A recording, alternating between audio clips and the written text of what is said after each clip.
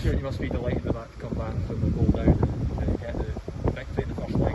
Yeah, I think there's, there's no doubt in the spirit we'll have in the club. You've, you've known that you've been at all the games this season as well, so uh, I'm certainly never out of a game.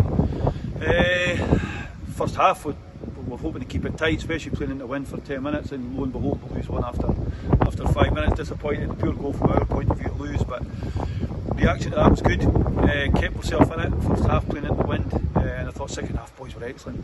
Played some really nice stuff at times on a difficult day, uh, and scored a, two super goals. So uh, yeah, we're over the moon with that, but we'll not get carried away. It's, it's half time.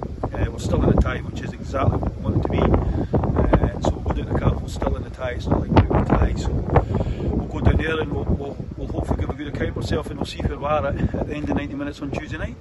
Two really good goals. Super goals. Aye, aye they've got that. Uh, they've certainly got that in the locker, the two of them. Russell's a wee bit fortunate. Uh, he gets a break of the ball, but then he bends one in the, the top bin. Uh, and the second goal is a super move and a great finish from Graham across the keeper into the side net. And so delighted for them, delighted for the lads that were, as I say, we're still in the tie, and that was the, the main aim today was to, to give ourselves a chance. Uh, we kept reiterating the boys, it's 180 minutes, it's not a 90 minute game, and that's exactly what it is. So it's only half time, but. Uh, if we can replicate that again on, on Tuesday night, we'll give ourselves a chance. No doubt about that. Being in this position before ahead, going into the second leg, what are you hoping the boys can produce on Tuesday? Certainly produced better than we did at Queen of South a couple of years ago. We were out the tie by I think by 3:30. It was 5 0. Uh, so I think it was four or five. Yeah. So we certainly it'll draw on that experience even from one point of view and from the rest of the coaching staff that we need to be in the tie as long as we can. Uh, we got caught cold down at, at Queen of South. Maybe it was just a game too much, and Stephen Dobbie came back and was outstanding. So uh, this one we, we need to be in the tie.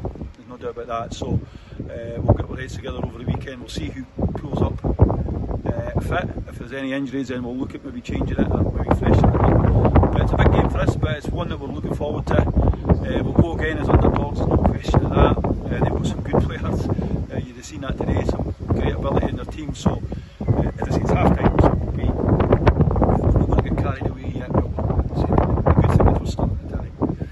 It's just like, uh, good to see them back Fantastic. Uh, there's no doubt Big Aiden's done brilliant for his first season at, at senior level. Kerr just gives you that little bit different centre half with aggression. Uh, winning balls in there, and I thought he was immense today, considering he's been out for a, for a bit of time.